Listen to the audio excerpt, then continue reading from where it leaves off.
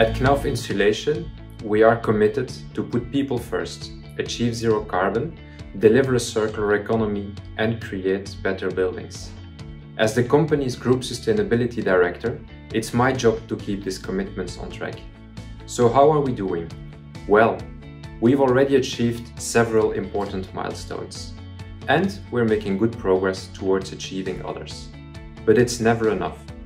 Sustainability is not a destination at Knauf Insulation. It's a journey of continuous improvements. Discover more in our Sustainability Journey 2023 highlights.